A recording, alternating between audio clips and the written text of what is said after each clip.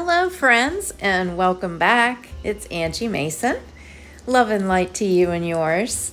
And we are working on a 10 by 20 inch stretch canvas, and that is a um, a mixture of I believe it's Behr, uh, Swiss Coffee, House Paint, and Amsterdam Titanium White. That, of course, is 24 karat gold by DecoArt Americana Decor Metallics. Uh, that is Golden's Turquoise Phthalo.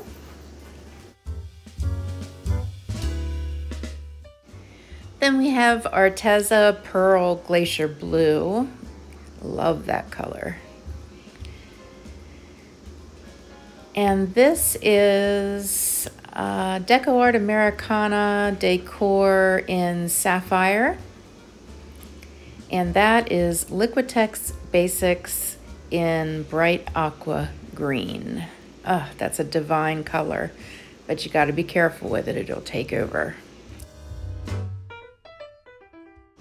All right, now I'm going to put down the base coat. And I always write a positive word on the canvas. And I wish you all peace and love. And I thank you again for being here.